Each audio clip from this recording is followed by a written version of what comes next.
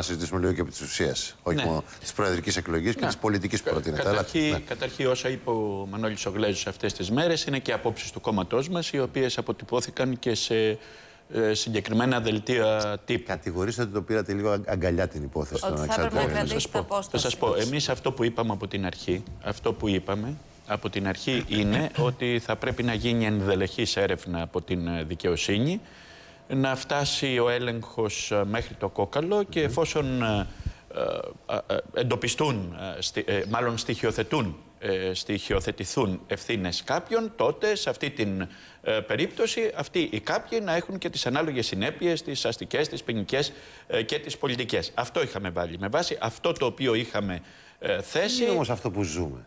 Ναι, θα Δηλαδή, σας πω. Με βάση αυτό το Τι οποίο... συμβαίνει, τι είναι αυτό το πράγμα; Θα σας πω. Με βάση αυτό το οποίο είχαμε θέσει, αν τώρα α, βάλουμε ε, δίπλα και το πόρισμα του εισαγγελέα το χθεσινό, υπάρχουν ερωτηματικά. Υπάρχουν ερωτηματικά γιατί υπήρχε τόση βιασύνη, υπάρχουν ερωτηματικά γιατί δεν έγινε συστηματική έρευνα, ενώ ακούστηκαν πάρα πολλά πράγματα από καταγγελίες οι οποίες έγιναν και μάλιστα από ενεργό βουλευτή του Κοινοβουλίου και υπάρχουν και ερωτηματικά γιατί ενώ υπήρχε έτοιμα να αρθεί το απόρριτο των, ε, στα κινητά τηλέφωνα των επ- ε, επικοινωνιών, αυτό με διάταξη του εισαγγελέα δεν άρθηκε. Επομένως, μένουν πάρα πολλά ερωτηματικά σε, σε λαϊκά στρώματα και Θεωρείτε για πολλούς, πως, ε, για πολλούς φαίνεται ότι μάλλον δεν πέρασε ή δεν πέρασε καθόλου η αλήθεια από αυτό το πόρισμα του εισαγγελέα. Μένουν ερωτηματικά Δηλαδή, από, κατά- από καταγγέλλεται εκεί και την πέρα. δικαιοσύνη. Από, κουκουλωθεί νομίζω και είμαι πάρα στρατό. πολύ Ναι, ναι, προσεκτικός ναι. στο τι λέω. Είμαι πάρα πολύ προσεκτικός στο τι λέω.